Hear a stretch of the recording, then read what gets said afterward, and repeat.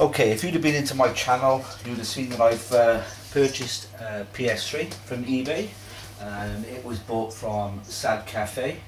Um, here it is, just turned up. So just going to open it up and and see what's what it's like.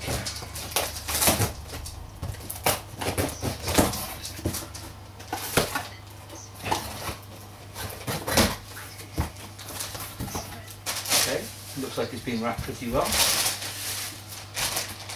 get this out way.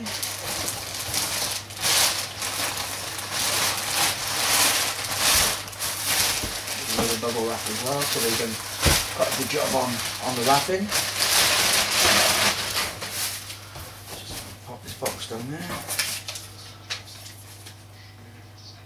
Thank you for the purchase. Mark. Okay.